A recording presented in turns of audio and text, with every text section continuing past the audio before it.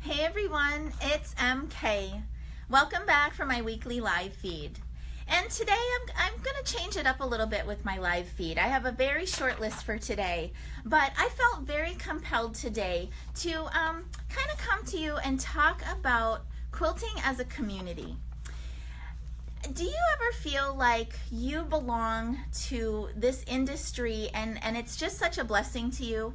Maybe you have a quilt guild that you belong to or a small group of ladies or guys that you get together and you just are there to encourage each other and learn from each other, share your ideas, share your art form. Well, if, if your answer was yes, then you're like me. I just came from my one of my guild meetings this morning, and it's always such a fun day of the week for me just to go and to listen who, to whoever the speaker was. Today we had a really awesome quilter who started back in the 70s and just, you know, showed a bunch of her work from then till now and just all different kinds of things that we learn at Guild. And, and you sit there and you visit and, and it's just fun and you build each other up, right? Um, I don't know if you saw recently, there, there's been a story and a video going around about somebody in our industry that um, actually is a very famous quilter and who has felt like maybe that hasn't been the case for her. And, um, you know, when I see stories like that, I, I'm a little bit, I'm pained by that because, you know, that's what, what we quilters, we're not all about that, are we? We're about love for what we do and sharing that love for other people. So I choose to believe that stories like that and, and like things like that that happen, I, I think those are very much not the norm in our industry and I hope that they're not. So I, I want to take that as a lead in and I'm going to put a link in, in the comments below. But you know, I've been talking for a few weeks now about my video hosting site and how I'm expanding that to be a community of quilters, inviting people to come on board with that.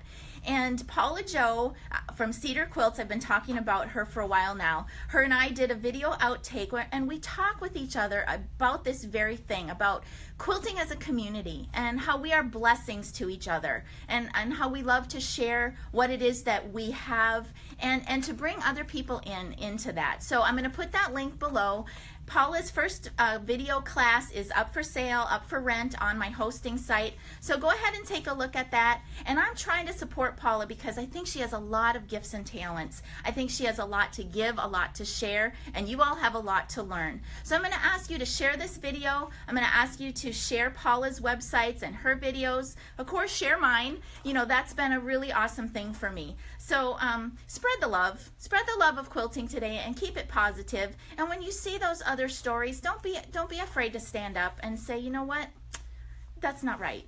And, and that's not what I'm about.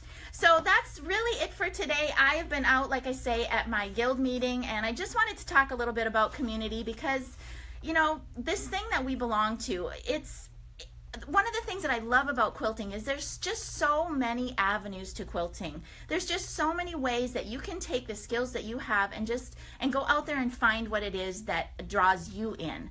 Okay, so keep it positive, be a blessing to somebody today with your quilting, and uh, that's what I wanted to talk about.